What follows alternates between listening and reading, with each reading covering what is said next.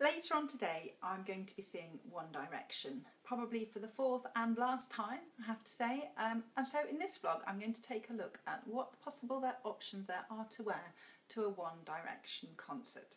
But I think we can extrapolate it out a little bit and just look at outfits that we may wear to sort of a smart casual event where you don't really want to stand out too much from the considerably younger crowd I have done a little bit of a straw poll amongst my daughter and her friend to see what kind of thing they think I ought to be wearing.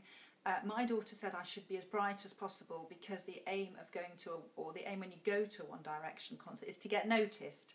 But I'm not really sure that that's what I should be doing just imagine wearing something really bright and sparkling, being noticed by somebody in One Direction, going, "Oh, you up there, the bright." oh no, hang on a minute, no, not you up there. No, that's not a good look on somebody your age. So I think I'm going to go for more subtle. Let's blend in. Let's not stand out from the crowd. Let's not pretend that we are young and hip. Not that particularly young and hip um, until the lights go down, of course, and then I'll be singing loads because actually I really like their music. Um, so anyway, that's what I'm going to have a look at in a minute. First off, though, I just wondered if anybody has been loving the Rugby World Cup as much as I have been. Not for the rugby, not for the final whistle, unlike lots of people, but for the ref. Isn't it brilliant that you can hear what the ref says? I love that. So they get these two great big beefy blokes over and he's telling them off and he's like, no, you were really naughty. You shouldn't have been doing that. And you were really naughty. You shouldn't have been doing that. And if you do that again, you're going to be on the naughty step and they're standing there like, okay, ref, I won't do it again, ref. I just love it. I think it's brilliant. It's hilarious. It's like having a pair of toddlers being told off. Anyway, that was a little bit of an aside. So Yep, in a minute I'm going to look at clothes. I just need to go and make a few preparations, get some things sorted, and I shall be back in just a tick. So this is the first outfit that I'm going to show you for my uh, potential outfit for the 1D concert. I've decided that I'm actually going to wear these little Jigsaw ankle boots. Do you see they're quite flat, um, really comfortable because we've got a little bit of a walk from the car park to the venue. Um, and this leather jacket as well, which is one of my favourites quite an old little number now, but I know that it's going to get taken off and screwed up and pushed in a bag or under a chair, and I'm not too worried about it, given that it really has served its time for me. And then these Jigsaw Boyfriend jeans that you can see here. Um, on the top half, so this outfit is kind of quite plain, but then it's got some pops of colour to it. And you can think about using this in lots of different contexts. So not just a smart casual outfit, but maybe for an evening out. Whatever you're doing, there's outfits fall into different categories. So I like to think of as this as my fairly plain outfit, so it's not too scary, but then it's just got some pops of colour. And the way that I've introduced the colour is with this Kate Spade bag. So it's this lovely bright Kate Spade bag that I bought from Bicester. And then I'm also wearing this bright orange scarf, which was a birthday present. Um, so that just adds a nice bit of colour. And then underneath, I've got a long tassel necklace. Again, working in some colour there, kind of corresponding with the bag. Um, and just to show you the jumper that I'm wearing, this is a little Primark number that I bought in our local Selfridges. Nice rib jumper. It's, you probably won't be able to pick it up on the camera, but it's got a bit of sparkle in it, which is quite nice. A bit of lurex to go with a Whistles skirt that I bought last winter that I didn't get a chance to wear a lot. So that will just tuck in nicely into the skirt, uh, which then flares out and is a midi skirt. And yeah, you can see that, £10 there. Um, so very plain in terms of the boots, the jeans, the jumper and the jacket, but then just adding in a bit of interest with the tassel necklace. I've got some brighter bangles as well, the scarf and the bag. So it's a little bit loud, but not very loud. And if I took all the accessories off, I'd be really, really plain and blend in quite nicely. So that's the first outfit and I will now move on to outfit number two. So this is my second potential outfit. You can see it's very different to the first one in that it's all black. So I've gone for a very, very dark colour palette, other than the trainers, um, which I wear with pretty much everything and are great if I'm walking any distance, which I will be.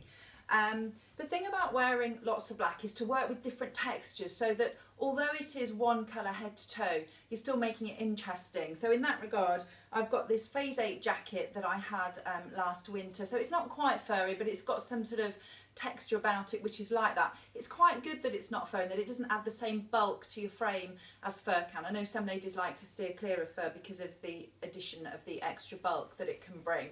And then underneath the jacket, I'm wearing this lace top from uh, Zara, which has got these lovely sleeves on it. Um, there's quite a lot of these around this season, but that's quite nice for a change. And actually, um, it's fairly warm, so that's always good for me.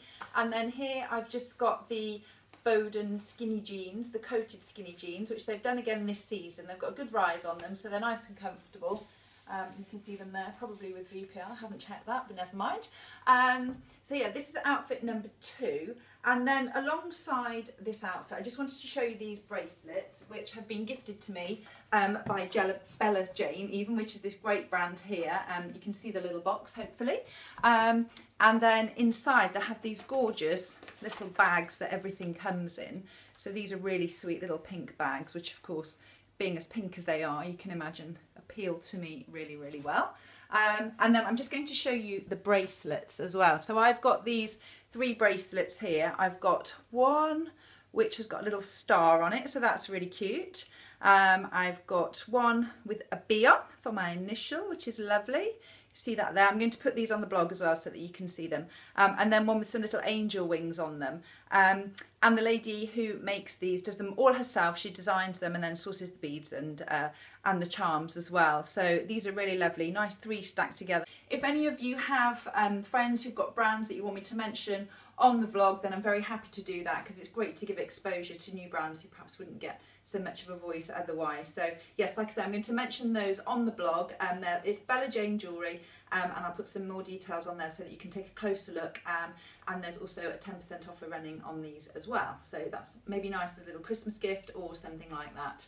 Um, yeah, so that's outfit number two, very much based around black, head to toe, apart from the white trainers, but with some texture. And like I said, with reference to the first outfit, you can do that in lots of different settings. So in an evening setting um, or a more casual setting, just wearing one colour head to toe, but then playing with the textures, just mixing it up a little bit and making it a bit more interesting than just the flat same texture throughout. So, okay, moving on to the last outfit now. This is my final outfit of the options for the concert and this is called um, a print and a knit because there's lots of these knits around this season. This one is from Jigsaw and I've probably had it for 10 or 12 years now but they're still going strong, they've still got them in store now. Um, so you can still get hold of them in lots of different colours and they're great because they're fantastic if you're sitting at your desk at work and you just need to pop something on over the top of your clothing if you're a bit chilly. Um, also great if you're uh, driving the car or if you're going from somewhere warmer to cold. So not as heavy as a big jacket but quite good for an evening like tonight.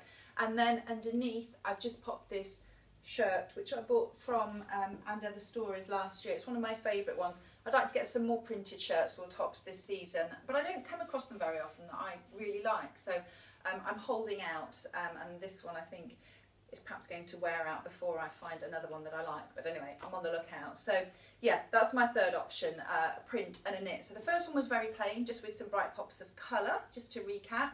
Uh, the second one was head to toe all in one colour but using different textures and then in this outfit I've included some print um, and then a knit as well. So sometimes before you get dressed it's quite a good idea to have a think about which route that you want to take and then it immediately discounts some of your wardrobe and makes choosing things a little bit easier. So so I really hope that you've enjoyed this vlog and that you found it useful, not just in dressing for a 1D concert, but in many other contexts as well. If you like what you see, it'd be great if you could like it and share it with your friends or subscribe to my YouTube channel. And I shall look forward to seeing you again soon. Okay, take care. Bye-bye.